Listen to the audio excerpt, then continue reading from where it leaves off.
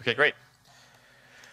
Hey, everyone. So thank you to the V2 for that awesome introduction to libp2p in general. Um, what I wanted to talk about was focus on where we're at uh, as a project, uh, in great part in how we develop some of this stuff, and think through uh, the priorities that we have ahead so that we can set up ourselves um, to you know, pretty much scale a lot of development and get to solve some of those really, really hard, hard issues, right? So we're talking about, um, in, in the long term, we hope to bring about drastic improvements to how people use networking in their applications and platforms and systems.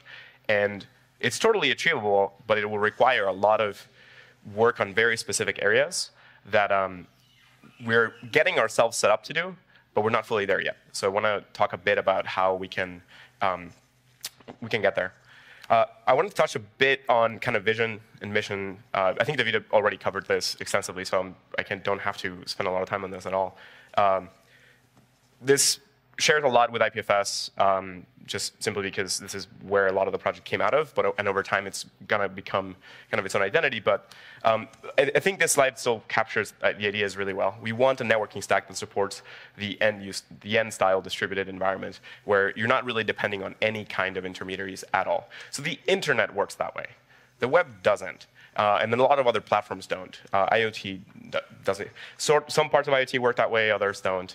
Um, and it's pretty important for a lot of how we expect uh, computing to work in the future, or, or, like the good visions of what we want computing to work like in the future, uh, to make sure that our networking stacks properly work in that way, and that our applications aren't accidentally smuggling in other models that are much more restrictive and uh, make our applications fail in, in circumstances where you know, they become where it would be extremely important for them to work. So think of disaster scenarios.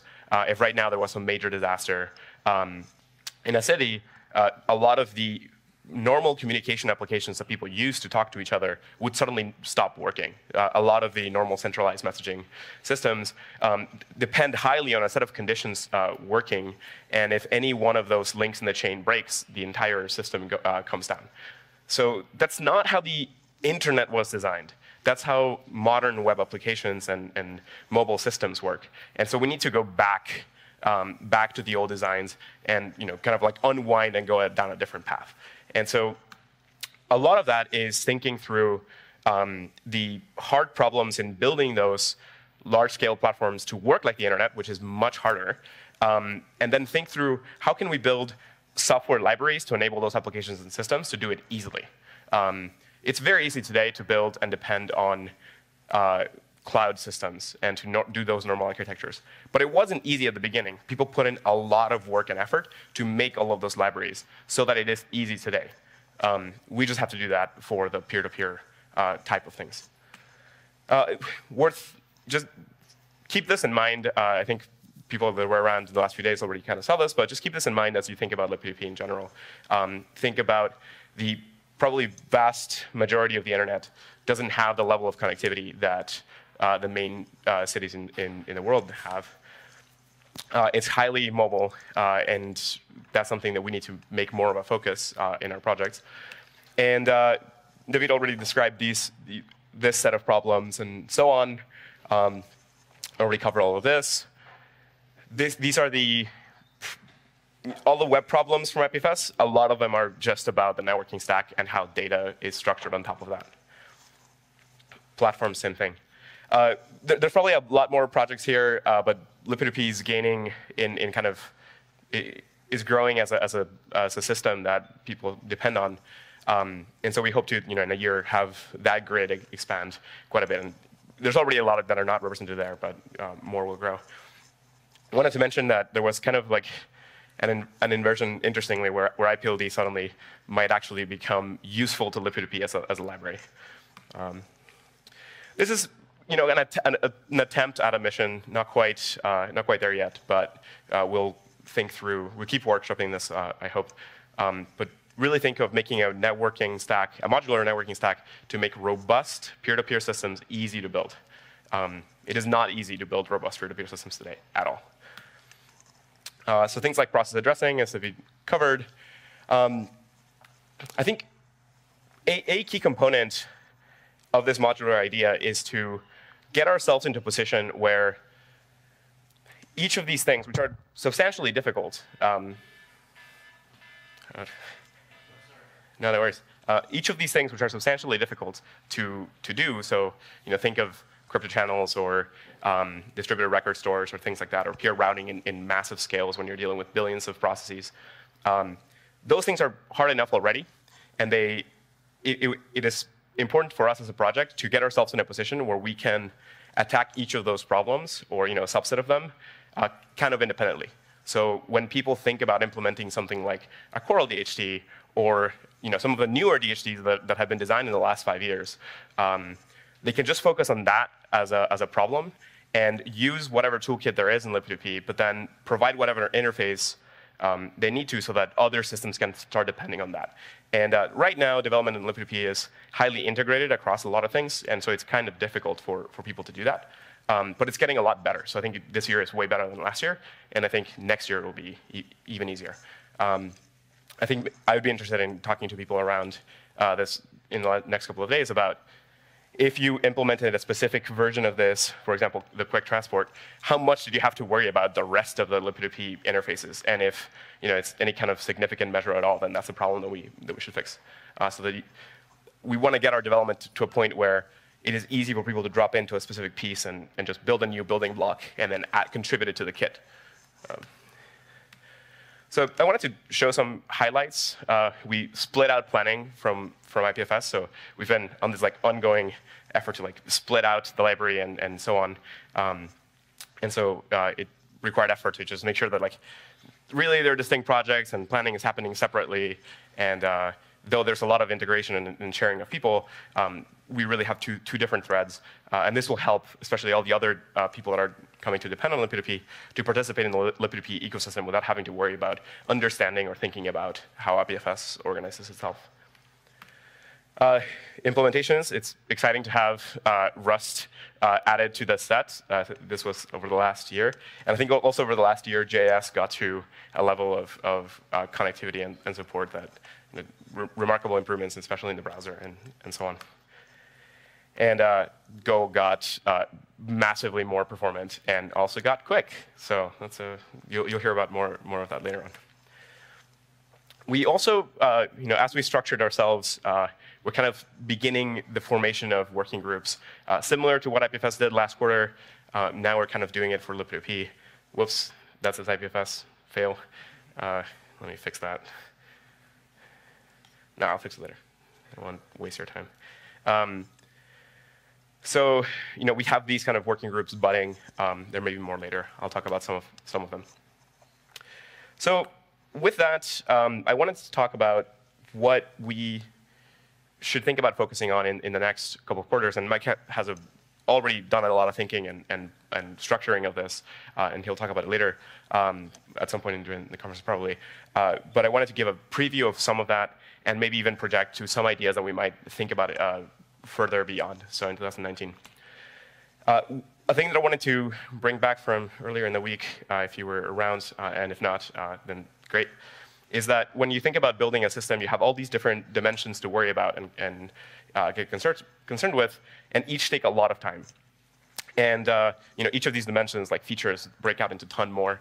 And you know, you need you just growing the, the, the volume of cover over all of these uh, different dimensions uh, when you are building software just consumes a lot of time. And so getting to a really good level of completion with on any of these dimensions uh, takes a while, and so if you want to ship something, you have to like take a lot of shortcuts. Uh, and so we did that, and then you know we got uh, things usable and, and, dependable to some degree.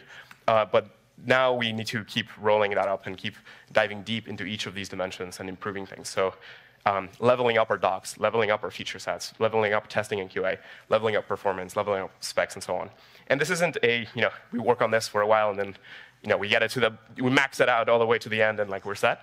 This is you know, a continual thing that we think of it kind of like a spiral, where like over time we're like growing the, the cover.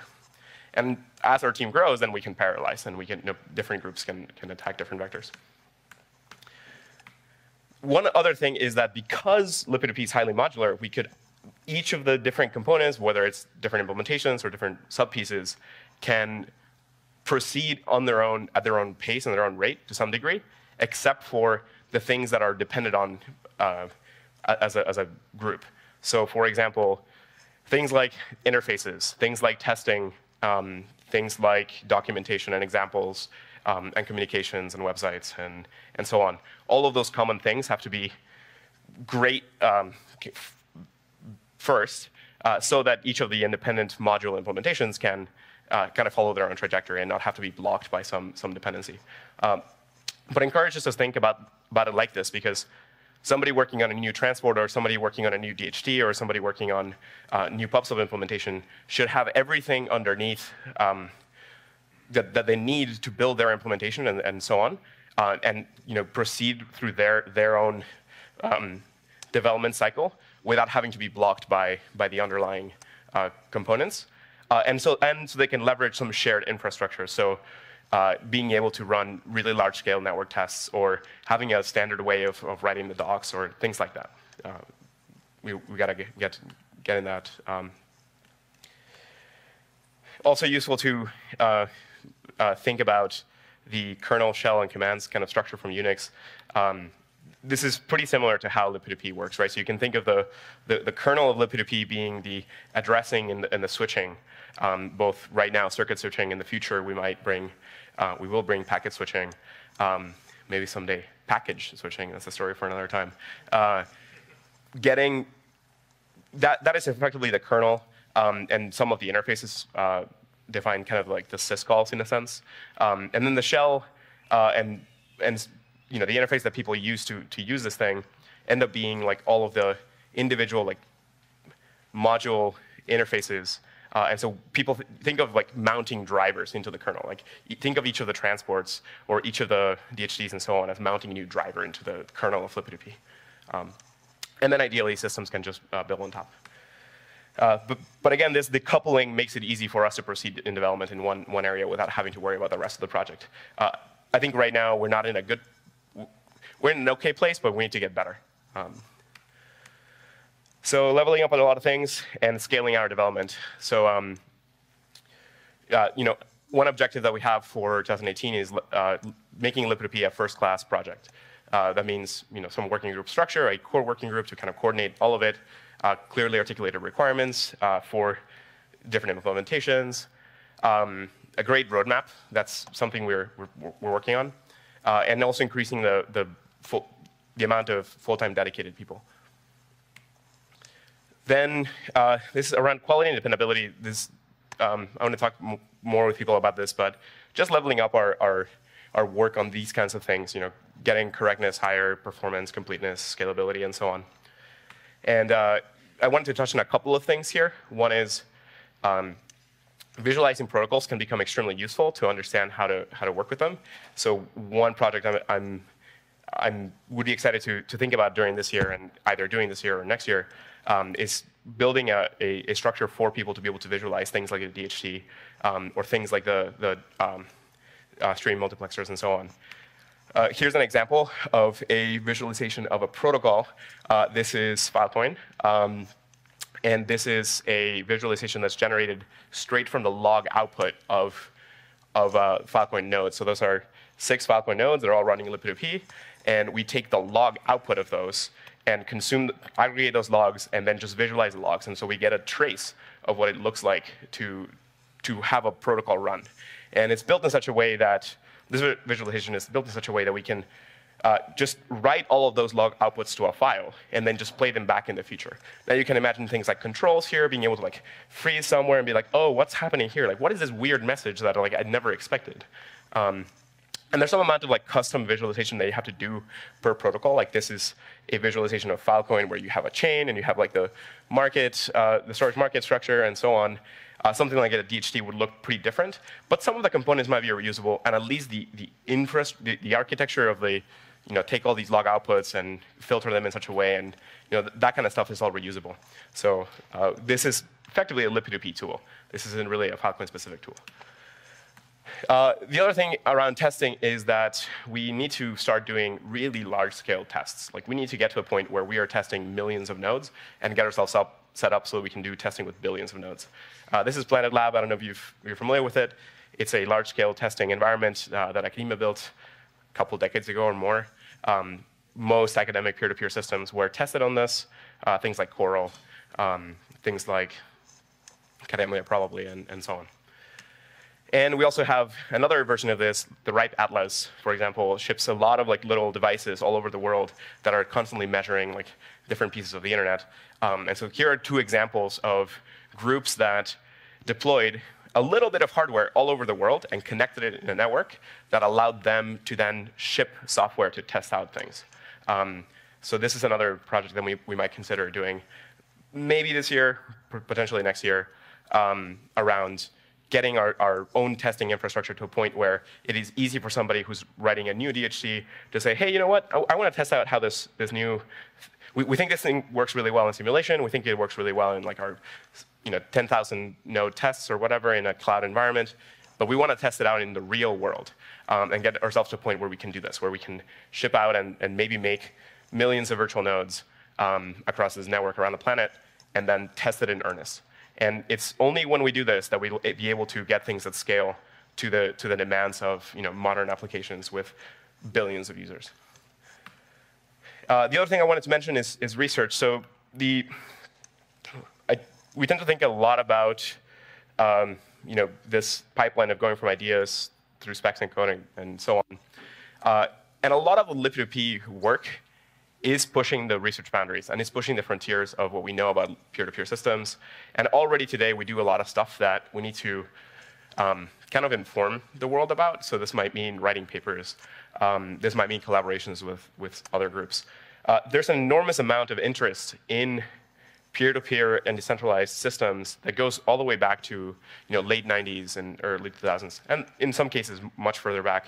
Um, but there's a lot, there was a lot of important activity happening across a bunch of universities in that time period, and that, a lot of that just fell flat. Uh, it was used in, in the early peer-to-peer applications of the, um, in the, fir- you know, the first peer-to-peer wave, um, but with the kind of there's a whole bunch of reasons why, but there was effectively a peer-to-peer winter, and a lot of those, those groups stopped working on this stuff. But many of their, their implementations and solutions were extremely good, they just didn't get built. They died somewhere here, right? So a lot of the really good peer-to-peer ideas and things that are going to make peer-to-peer systems scale are just you know, stuck in the ideas or, or, or paper domain where there were great results achieved, and then those groups moved on to other things. So it's time for us to go and, and figure out what those might be and, and bring them in, like actually get, get them to a point where we can use them. And in other, in other places, it's connecting with the people that were doing that work and saying, hey, we now have a good structure to build and test all of these things. And you know, yes, the end-to-end principle got violated when we like made the TCP uh, and UDP protocols be like the only things, and like you know, you couldn't really make new transport protocols. But we're we're working on like fixing that, and like now it, with libp2p, you can totally deploy a new transport protocol, and you don't have to worry about. Um, you know, you just overlay it over UDP, and it, you know, you can build applications on top of it. So all of that kind of stuff can revive an enormous amount of activity in all of those groups uh, because if we give them an easy way to test out implementations and then ship them into real live uh, applications, um, that's going to generate a ton of activity in this world. And so this is something we should think about this in the next coming quarters and set ourselves up for in 2019 uh, hitting really well. Uh, and by the way, it's never quite linear, right? Like it's always very messy connectivity here. Uh, another thing is you know, addressing the needs of downstream projects. So this means figure out what all the downstream projects needs. Uh, so part of that's part of the goal of this event uh, to understand what, uh, as a user of libp2p, what do you need out of it, uh, and you know build a, a registry, to, registry to track those use cases and needs and so on, um, so that when we tackle those things uh, in a, in a quarterly basis, we figure out what to um, what to prioritize and what to do. And uh, another thing I want to talk about is, is scaling up development. So we already started to form working groups. We want to uh, double down on that. We want to start measuring what we're doing right and wrong there. Uh, better planning and scheduling and all that kind of stuff, uh, increasing the resources. We are doing things like the Journal Club, for example. I think we covered Coral. We covered a few other things uh, that are re relevant to peer-to-peer. -peer. Um, if you want to get involved in that, please do. And uh, I wanted to touch on how to um, speed up our development. So I think different from other sys systems like IPFS and others where a lot of the system is, it needs to be highly integrated. Um, other than the libp2p core or kernel, you don't really have to think very much about um, syncing with other groups while you're building, building an independent implementation um, of a subset of these, these protocols. So you know, each of these things can, can proceed in parallel uh, and kind of follow its own, um, own timeline, and often doesn't require the context of understanding of getting everything else.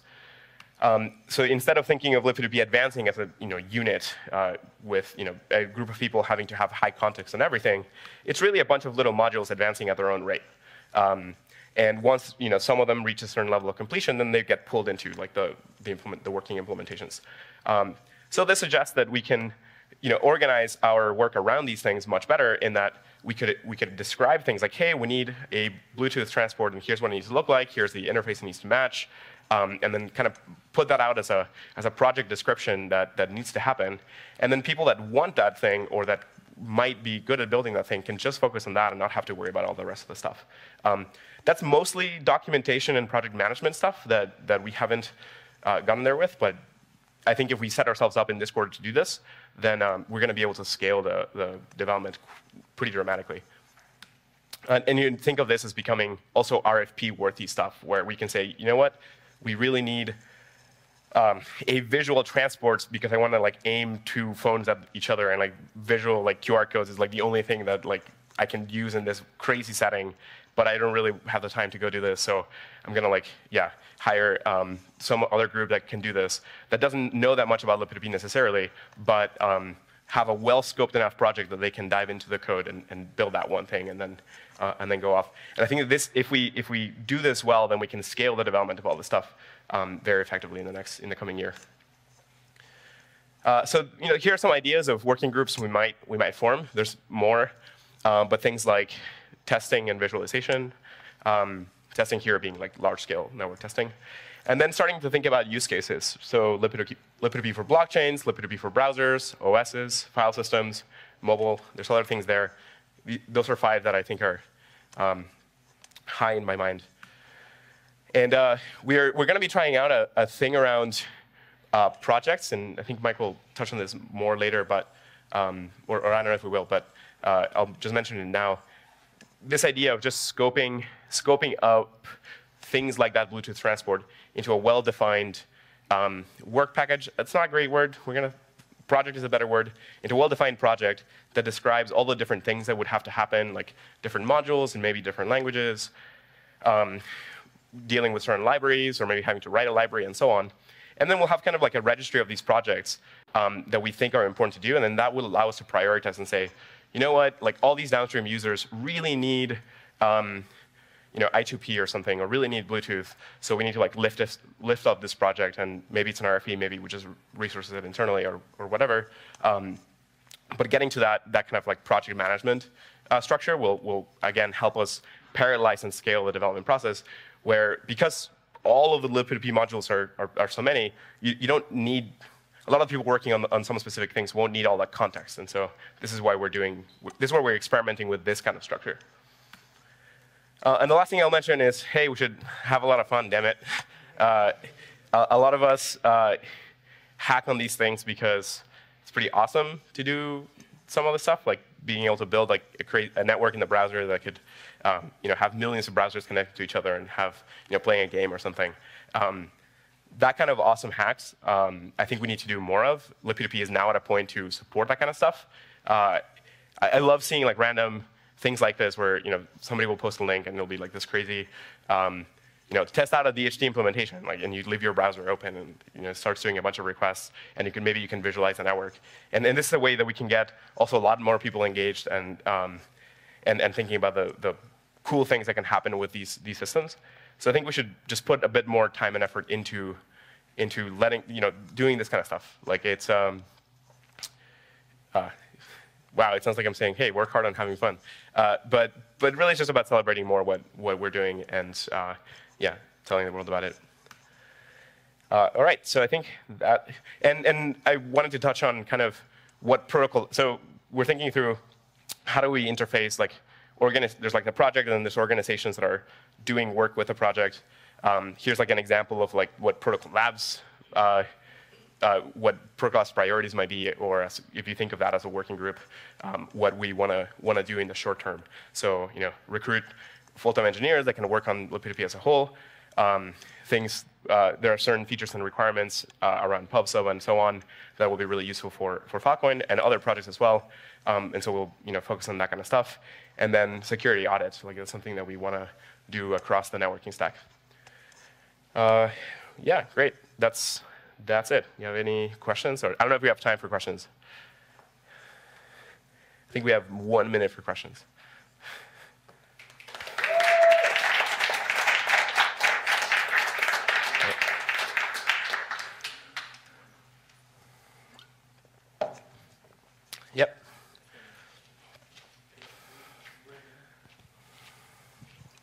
Hi, Juan. Um, I have a question about, I guess, just the P2P and IPFS like philosophy. Um, you know, David talked about um, the P2P being like a location, oh, sorry, no, content addressed uh, system instead of a location address system. Um, do you guys see uh, a way to kind of still attach location addressing somehow into the system, or is this kind of just like think uh, we're we're gonna try to think about things from a completely different standpoint that you know the things that we think about today as of like geolocation and and you know pops or like things like that aren't really like a good paradigm to think about things anymore. So I guess is the question: um, Are we open to exploring new kinds of ways of doing networking where you're doing the addressing by other things like, yeah, like geolocality or something like that.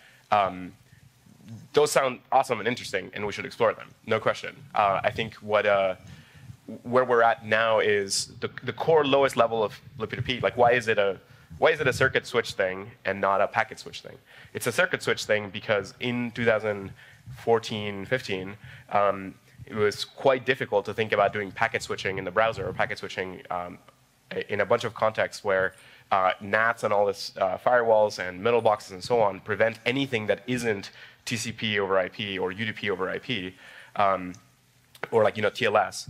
Uh, and and you know QUIC had to like bust through that, but a ton of other product, uh, protocols failed, like SCTP and so on. So so in that world, we had to think of like saying, okay, great, like we have to layer stuff over these these protocols that exist now and start piping our stuff over all of that. And just for simplicity, that should be a circuit switch network to begin with.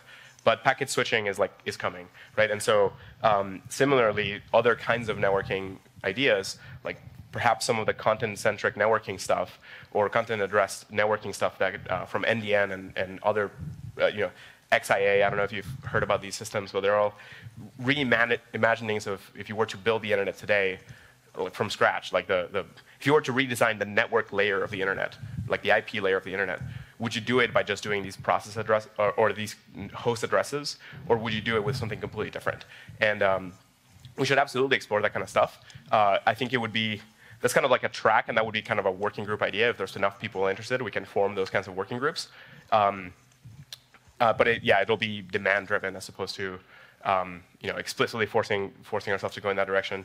Um, a, prior, a big priority for us is to, you know, libp2p is already used by a lot of groups, and so we want to get, we want to make sure that the, the a, a, large amount of our bandwidth goes into supporting those, those users.